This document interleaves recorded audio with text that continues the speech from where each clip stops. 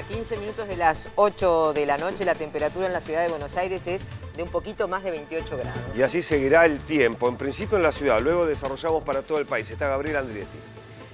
¿Qué tal Cecilia Palo? Muy buenas noches. Y hoy tuvimos otra jornada bastante calurosa. La temperatura máxima alcanzó casi los 32 grados, 31 grados 7 décimos en una jornada a pleno sol, casi con cielo despejado. Mañana seguirá ascendiendo la temperatura. El viento seguirá soplando del sector norte con cielo algo parcialmente nublado. 17 la mínima en área urbana, 14 en áreas urbanas y 31 grados será la temperatura máxima. Recuerde que el viento soplará del sector norte.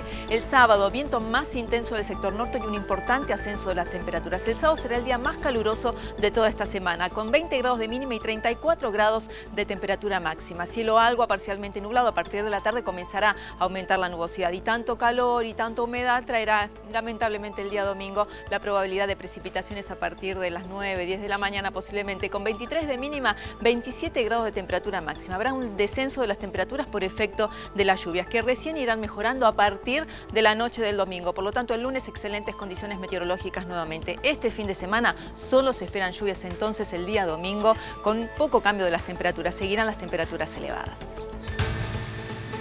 Gracias Gaby, hacemos aquí una nueva pausa. Ya volvemos.